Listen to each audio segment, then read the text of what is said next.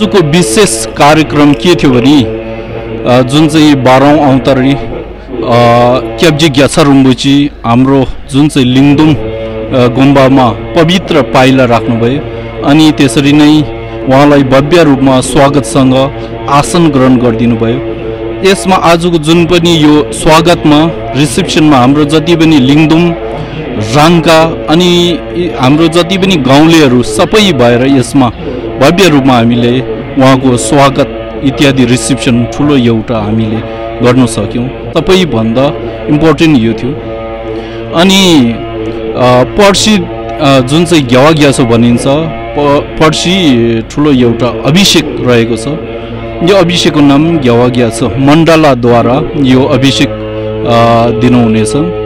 त्यसरी नै यसमा प्रमुख तिनवटा अभिषेकमा एउटा अभिषेक चाहिँ हामीले मध्ये यो जुन चाहिँ महाग्रन्थको जुन चाहिँ मध्य यो पाठमा उहाँले प्रदान गर्नुहुनेछ अनि अन्तमा पनि यसको अभिषेक रहेको छ र त्यति भन्न चाहन्छु धन्यवाद Get all the credible news on the go. Download the Sikkim Chronicle app.